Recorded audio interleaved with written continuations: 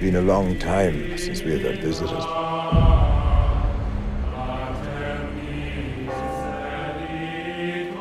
You do not know what you ask. The relic you keep here has a power to summon the wrath of God upon its enemies.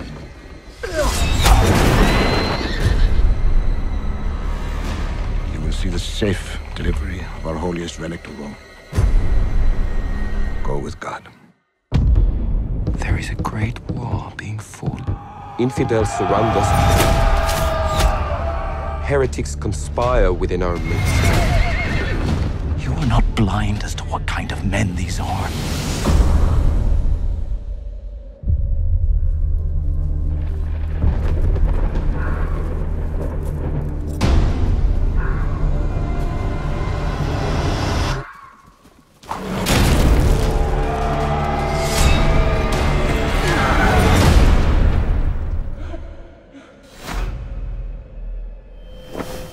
We must retrieve it.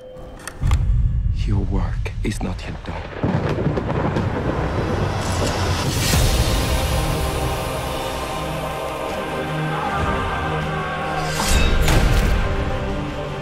Christ rejoices with everyone you destroy.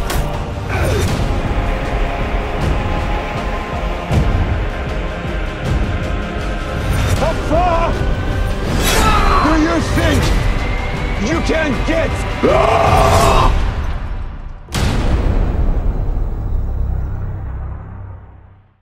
So, what did you think of the video? Thumbs up or down?